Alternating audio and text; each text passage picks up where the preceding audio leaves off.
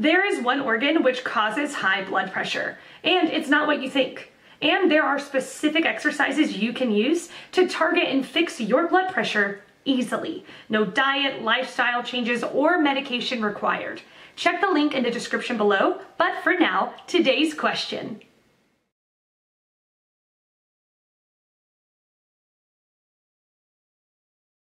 The My Health mobile app puts all your health information at your fingertips and makes managing your healthcare simple and quick. Available for iPhone and Android. Video here blood pressure exercises VSLCB. Obesity is a serious, chronic disease that can have a negative effect on many systems in your body. People who are overweight or obese have a much greater risk of developing serious conditions, including Obesity has a far ranging negative effect on health. Each year, obesity related conditions cost over $150 billion and cause an estimated 300,000 premature deaths in the U.S. The health effects associated with obesity include, but are not limited to, the following obesity. Obesity, having excess body fat that is considered unhealthy for a person's stature, is called obesity and increases the risk of diabetes, heart disease, stroke, arthritis, and Obesity overweight excess body fat effects of obesity obese